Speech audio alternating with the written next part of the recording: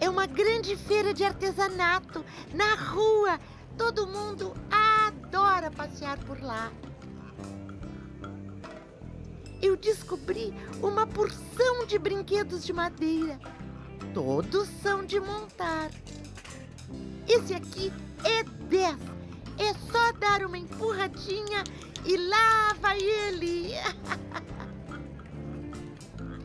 Vi os cestos e as esculturas de bicho que os índios fazem. Diário, caminhei mais um pouquinho e achei uma porção de coisas.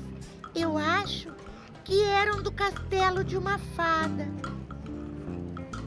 E depois, ah, um piquenique no parque.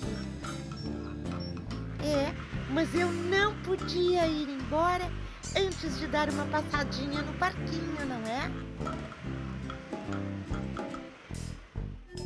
Foi um domingo maravilhoso. Ah, eu vou querer voltar mais vezes ao Brick. Andar de poesias.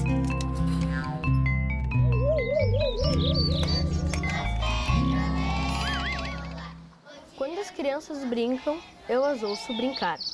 Qualquer coisa em minha alma começa a se alegrar.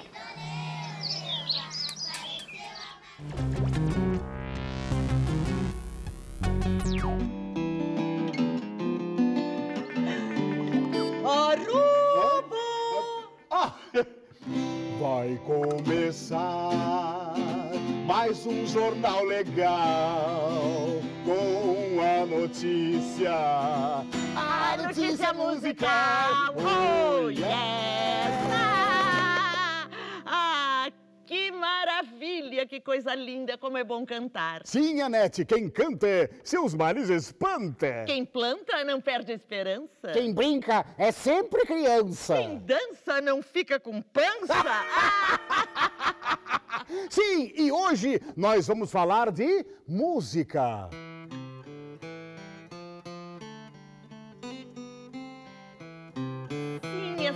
Arte maravilhosa que vem acompanhando o homem há muito tempo. E ela se constitui basicamente de uma sucessão de sons entremeados por curtos períodos de silêncio. Assim, a música é uma combinação de sons que ouvimos. Ah, as notas compõem a música e o ritmo é o tempo entre uma nota e outra. Outra propriedade do som são as alturas, que podem variar entre o grave e o agudo. Ah, e também tem a intensidade do som, que pode ser mais forte ou mais fraca. E o timbre? Tu sabes o que é timbre, arroba? Claro que eu sei, mas não vou falar. Timbre é a identidade de cada som. Por exemplo, o timbre das notas de uma flauta é diferente do timbre das notas de um violão. Ou o timbre da minha voz para dizer pandorga é diferente do arroba dizendo. Pandorga! E agora vamos ao nosso correspondente musical. Tinta Repórter, é tudo contigo. Olha, os estúdios são os lugares onde as bandas gravam suas músicas pra depois a gente poder escutar no rádio, né? No CD, no MP3, computador e por aí vai. Olá, olá. Olá. Eu sou o Eduardo. Oi, Ô, tudo bom, Eduardo? Tudo bem, eu sou o operador de áudio aqui do estúdio. Ah, o operador de áudio do estúdio, que legal. E eh, o que, que faz mesmo um operador de áudio? O operador de áudio posiciona os microfones, Hum. ajeita os volumes dos instrumentos Ah. Pra música ficar bem bonita pra gente escutar. Mas que legal! É, muito Pô, bom. grande prazer em te conhecer, viu, Eduardo? Tudo meu. Olha só, é, eu queria muito é, assistir o ensaio de uma banda. Será que dava? Tu tá com sorte hoje. É? Nós estamos com a banda Apanhador só que tá ensaiando e daqui um pouquinho eu vou te levar lá dentro pra conversar com eles. Uau, que legal! É. Poxa, bota sorte nisso. Obrigado, hein, Vamos Eduardo? lá então. É, vamos, lá. Vamos lá.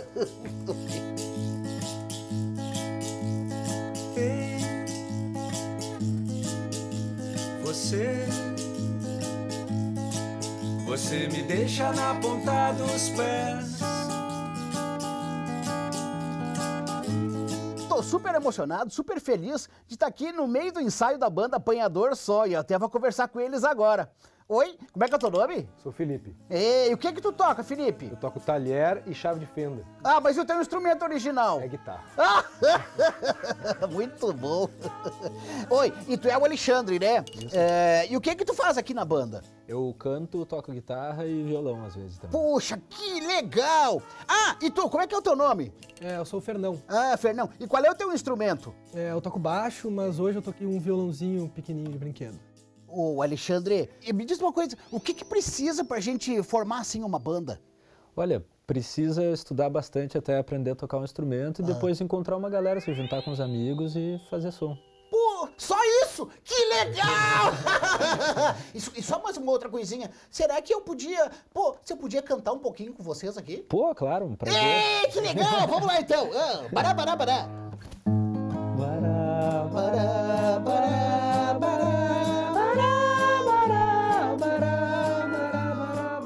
esta reportagem musical. Encerramos mais essa edição Do seu Jornal Legal. Arroba, nós podíamos fazer uma dupla. Mas nós já somos uma dupla. Ah, não, mas uma dupla musical. Ah. O marinheiro, marinheiro, marinheiro, só quem te ensinou a nadar, marinheiro, só foi o dono do navio, marinheiro, só... Galeria de arte.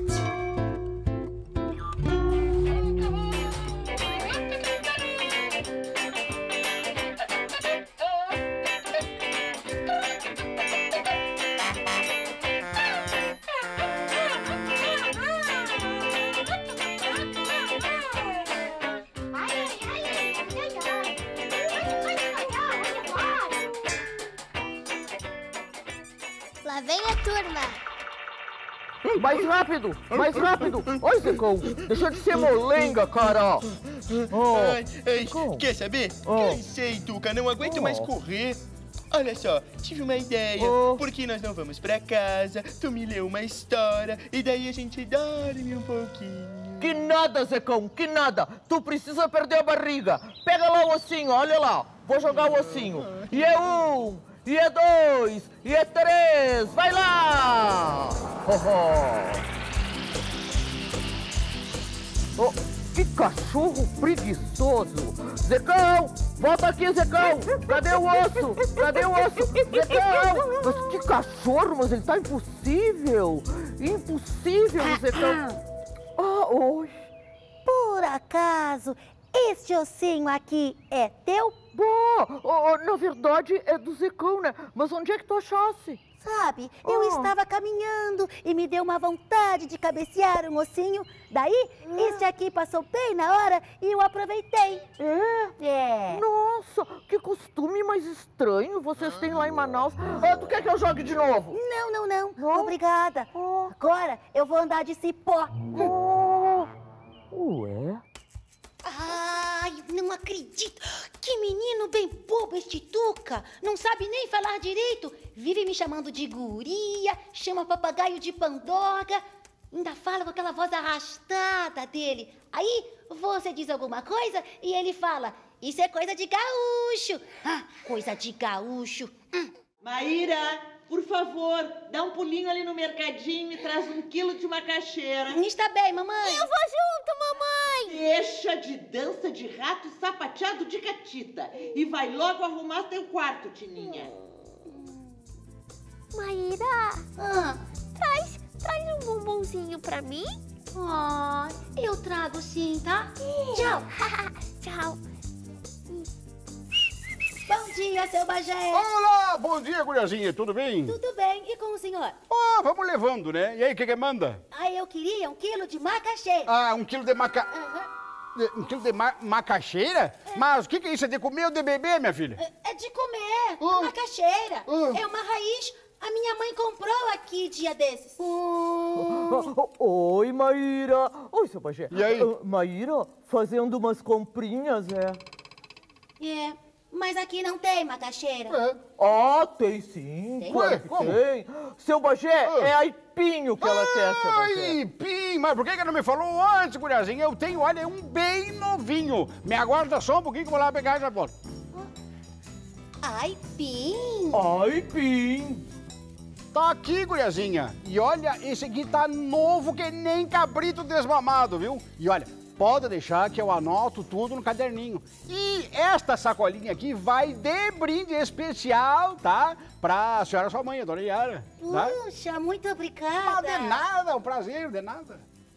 Como é que tu sabia que macaxeira era aipim, hein? Oh, a professora me ensinou lá no colégio. E sabe, Maíra, na hora eu me lembrei de ti. Lembrou de mim? Eu sempre lembro de ti. É? É sim. Ah, é, é, bom, é, eu tenho que ir pra casa, viu? A mamãe está esperando com o. É, com o aipim. mamãe! Deixei a macaxeira, é. O aipim, ai, sei lá, é tudo a mesma coisa. É, tá tudo lá em cima da mesa da cozinha, tá? Trouxeste meu bombom? Puxa, esqueci. É que eu encontrei o Tuca, sabe? Ah, sim! Aquele que você chama de bobo. Não, é. ah, quer dizer, é. Mais ou menos. Antes mesmo tu disseste que ele era bobo. Que ele fala todo esquisito. Ai, é que ele só fala diferente da gente.